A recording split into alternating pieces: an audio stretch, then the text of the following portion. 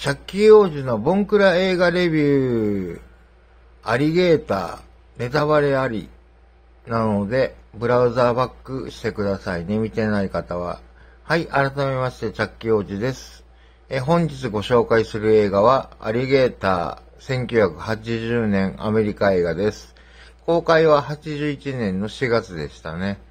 はい、えー、とてもよくできたアニマルパニック映画です。えー、まあ、ペットとしてね、飼ってたちっちゃなワニをね、えー、下水に流してしまったら、まあ、地下下水場で特殊な餌を食べてしまって大きくなってしまった巨大なアリゲーターが、えー、人たちを襲っていくというね。まあ、これまた単純明快なストーリーなんですけどもね。これがよくできてましてね、監督がルイス・ディーグって言って、この後、あの、まあ、スティーブン・キングの駆除、狂犬病になったセントバーナードの犬、駆除とか、まあ、キャッツアイ、泥棒の映画じゃないですよ。あの、キャッツアイって猫の視点から描いたオムニバスを撮ったりとか、あの、するルイス・ディーグ監督が、あの、手腕がうまくてですね、かなり、あの、手に汗握る展開というか、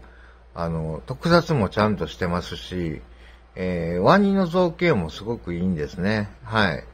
えー、未だにこのアリゲーターを抜いてるワニ映画はないんじゃないかなと思うぐらいよくできた映画です。え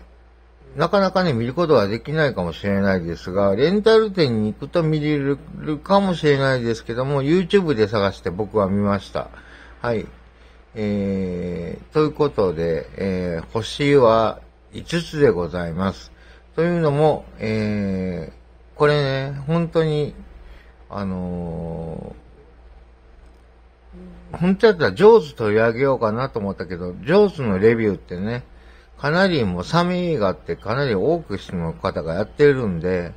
もうそれ以外の B 級映画を僕はレビューしていきたいなと思っております。これからもよろしくお願いいたします。ジャッキョウジでした。